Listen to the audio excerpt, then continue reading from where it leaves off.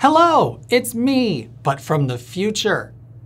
I was originally going to, in fact I did, record this after the main channel dishwasher version 2 video, but there was a thing I needed to try after I did a sanity check, so I had to delay this until now. If you got here without seeing the main channel video, there's a clicky thing. Uh, I don't know how necessary it is for you to view that video, especially if you saw the original dishwasher videos. The main point of this one is to go over something very interesting about my dishwasher, which I only discovered through testing these. Uh, and let's begin there. Thank you to whoever brought these to my attention. I don't remember who that was, uh, and I think it was it was either on Mastodon or Blue Sky, but somebody told me, hey, Finish has a new pod which they're claiming has cycle sync technology. And I was like, ooh, I need to test that. I bet it's malarkey, but uh, I wanted to test it. So I did. But also I wanted to make the revision of the video because there were certain things which I really didn't press on, which I needed to. Um, and I wasn't happy with the fact that the first video I didn't mention don't listen to this telling you to fill the cups completely. Your, your water has to be super hard. There are just things that I wanted to cobble together into something more shareable, a one-stop shop with the important information there. And I thought, you know, I'll tamp down on my angst about the pods and I'll just go through tips and tricks that are agnostic to what detergent product you're using. But the thing is, I, I would not have noticed that these were on the market because when I need dishwasher detergent, I walk into the store and my eyes go right to the spot where I'm expecting this box to be. I'm not partial to Walmart by any means, but they're one of the last places where I can get dishwasher detergent that is powder in a box that I know is going to work because Cascade Complete, I have had at least two boxes of that stuff which left a residue despite using really small amounts of detergent. And I find that interesting, especially because those boxes are outright steering you to try and buy the more expensive product.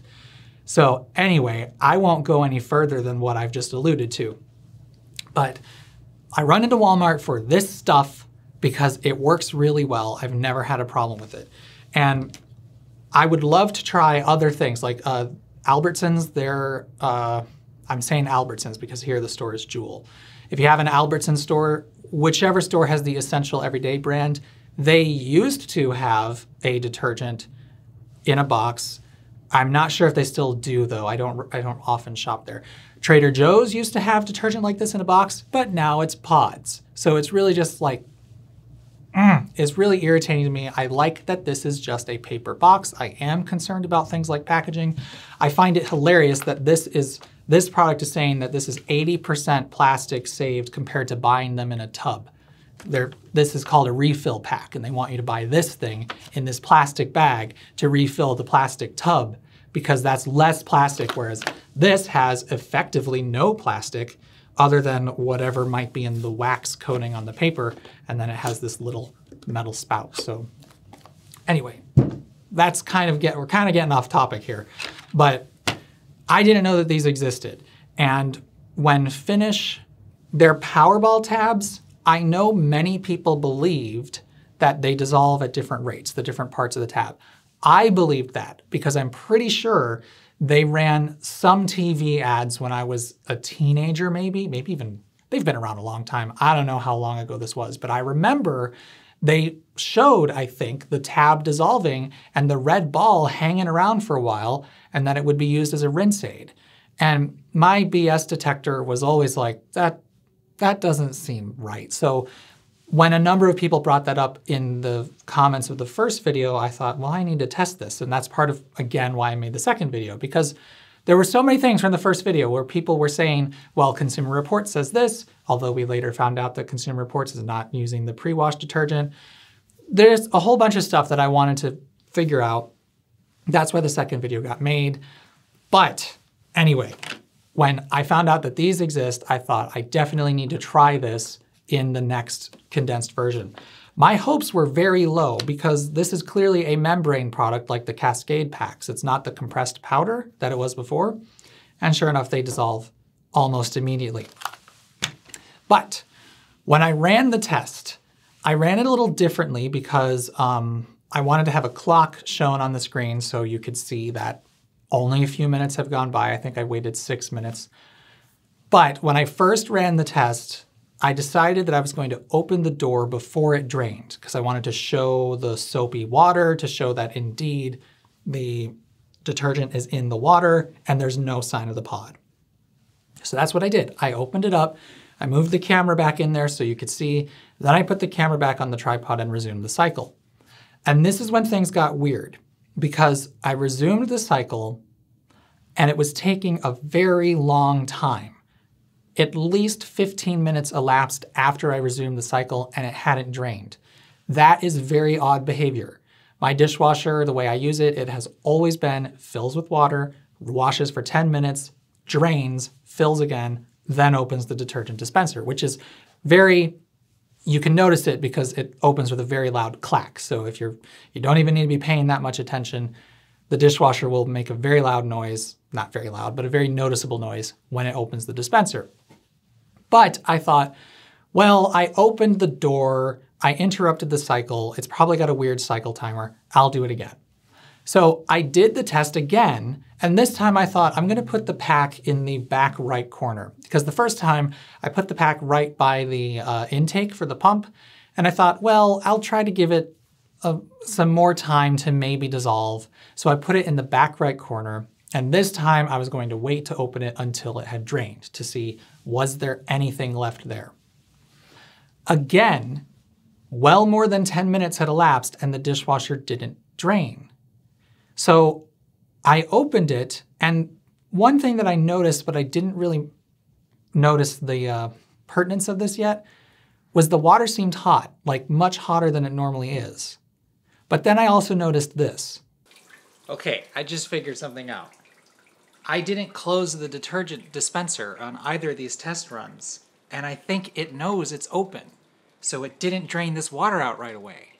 So I thought, oh, that's really interesting. The, it must have a switch on the dispenser door so it knows it wasn't closed, so it can help fight against user error in case somebody doesn't use the dispenser. That's what I thought was going on. So I thought, okay, let's do this again. So the next morning, because I was getting pretty tired, I decided to do this one more time and I closed the dispenser door, I put the thing where it's supposed to go, and recorded. And yet again, the dishwasher did something weird. This time, at about 10 minutes, it opened the door, but it hadn't drained. That is so not normal. I've had this dishwasher for, actually, this is the second one I have had. Eagle-eyed viewers may have noticed that it's the same one from the last videos, but the cabinets are different. That's because I've moved. But I liked that dishwasher so much that I bought it again. So it's the same model. I'm 95% sure it's the exact same model, but it was made a few years later. And also to the person who left the comment about the recall with the heating element, uh, this new one doesn't have that issue. The old one is somebody else's problem. Sorry. Um, but anyway, so I know this dishwasher very intimately. I've used it for at least five years. Every time I use it, it fills up, washes for 10 minutes, drains, fills again, and then you hear the clack of the detergent dispenser opening. It's very noticeable on this machine because it's the slidey door. So when it opens, you hear a pretty loud clack coming through. You can't miss it. Even if you're like watching TV, you're gonna hear it. So the fact that it clacked but hadn't drained was really messing with me. I was like, it has never done that. Why is it doing that?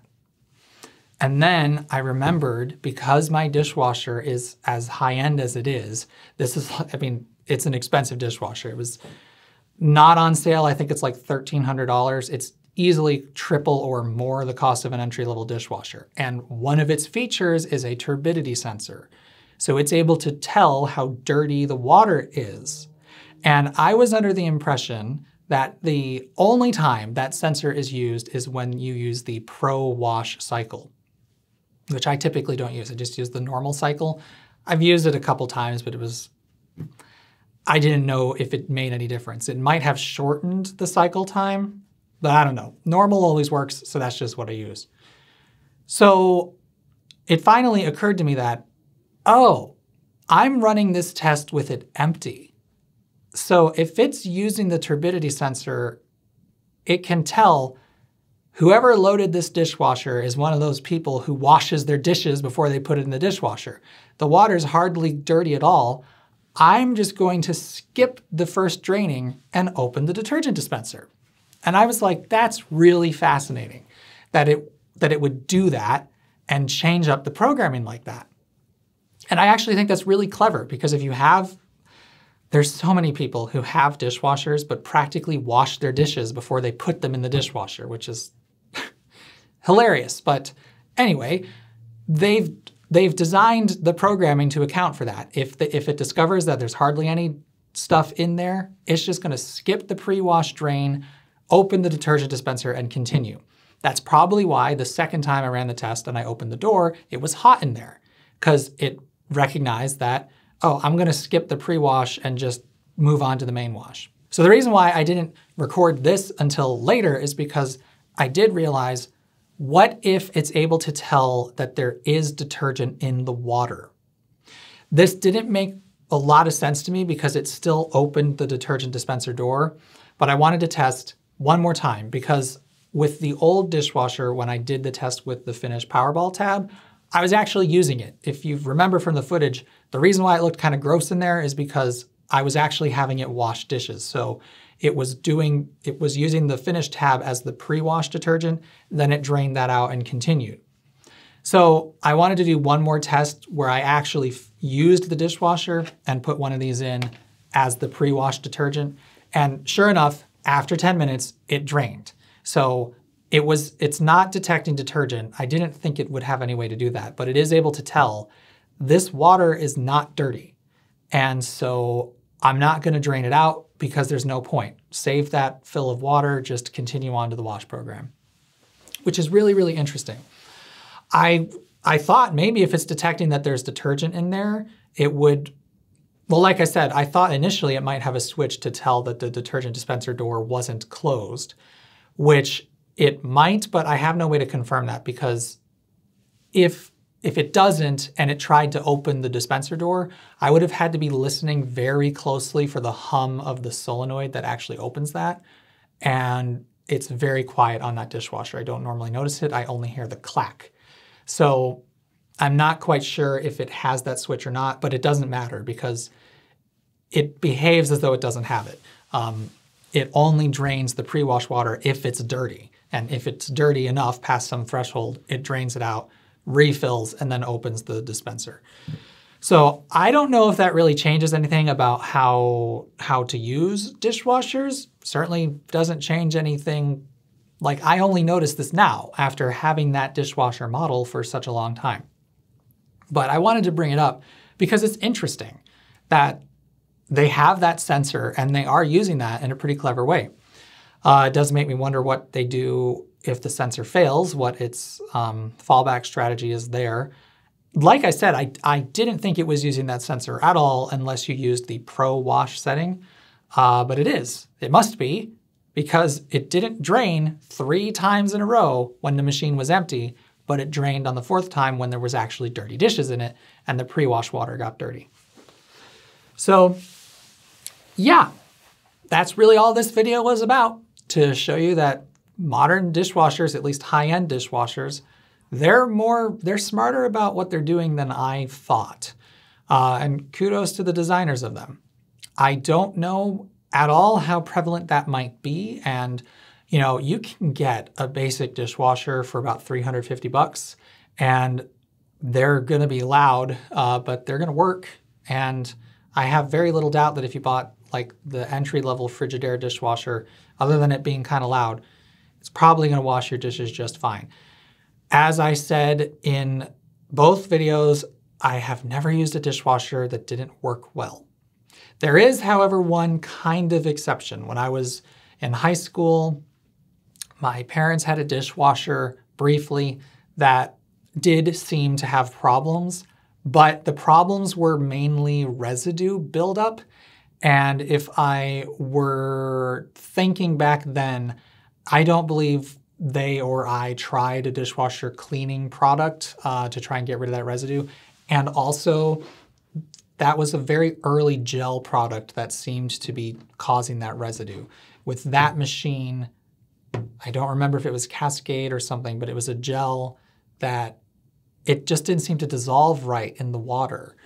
Um, so it may have been a defective detergent bottle that ended up ruining that dishwasher, and probably it could have been fixed if um, I had thought to try deep cleaning it. But I, it's been so long that I don't remember the details, but I believe there was like a problem, a known problem with that dishwasher where it was recalled for some reason, so they ended up just getting rid of it. And other than that one dishwasher, literally, which to reiterate, it washed dishes okay. It just, it seemed to be building up with gunk in there. But also, I believe it had a filter. No, I know it had a filter because I tried cleaning that a number of times, but it seemed to always just be building up gunk. So that one is the only questionable dishwasher that I've ever used in my life.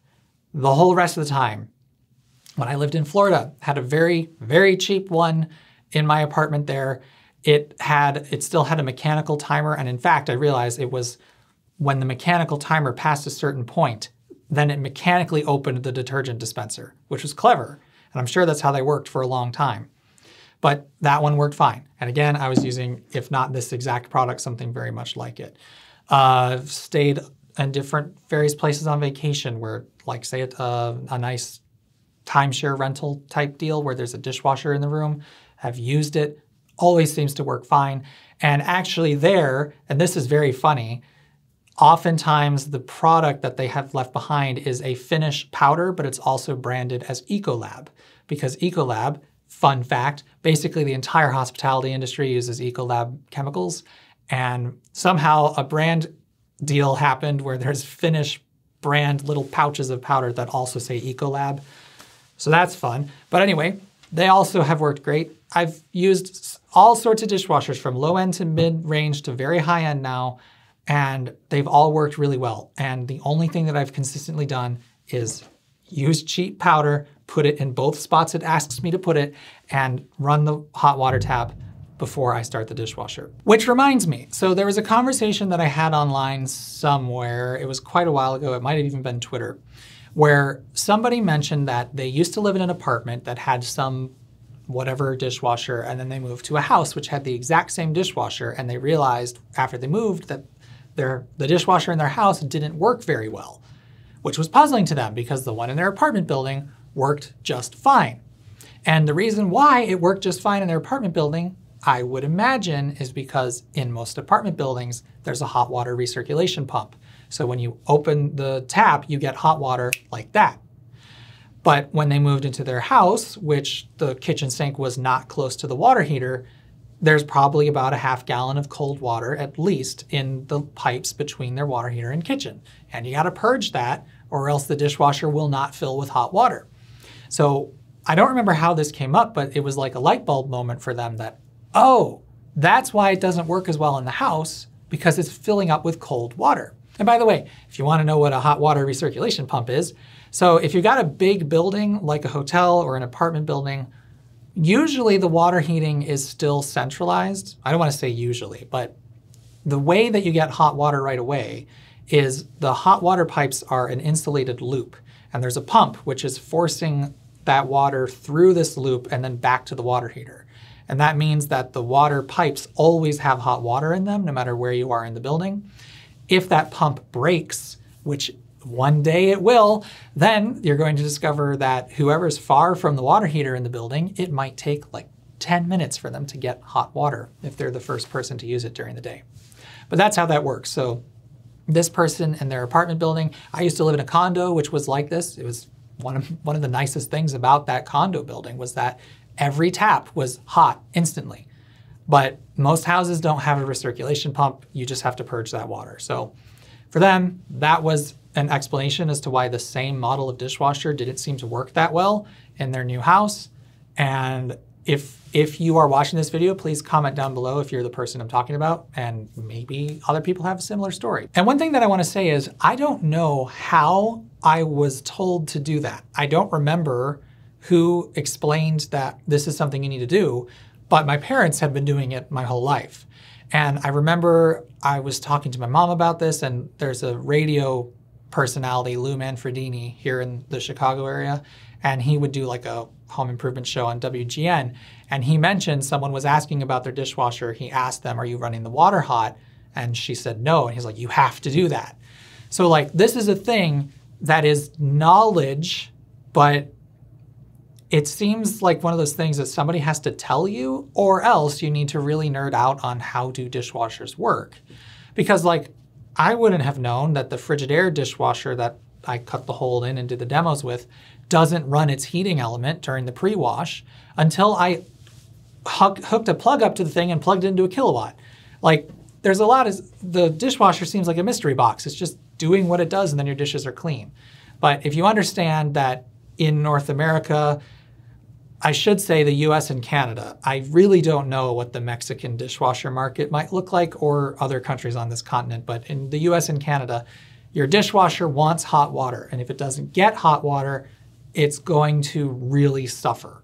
So, but anyway, what I was getting at was I don't know how I learned that, but my parents were doing it ever since I was a little kid. It's just a habit that I picked up on. And I wonder if it might be down to like my grandparents, they had a portable dishwasher, which is it's on wheels and you just bring it close to the kitchen sink and you hook it up with an adapter. And I imagine the instructions on those are very clear that you run the water till it's hot and then switch the little thing over to connect to the dishwasher. But I don't know. I don't know how that got started, but I do know it's a thing that a lot of people don't know they need to do. And that's why I really stressed it on this version of the video. But anyway, I think at this point I'm talking in circles. So that's really what this was about. Some fancy dishwashers have sensors that can tell how dirty the water is, and that's really clever. But also, the double edged nature of it is it might really screw with how it's running the program. It's, it's harder to give advice when the machine might be doing something smart where it might change things up. But I do believe, given that my high-end dishwasher, it works the same as every other dishwasher I've ever used. It doesn't have a filter. There's nothing to clean like that. It's just put detergent in the dispenser and put some on top for the pre-wash, and it works excellently.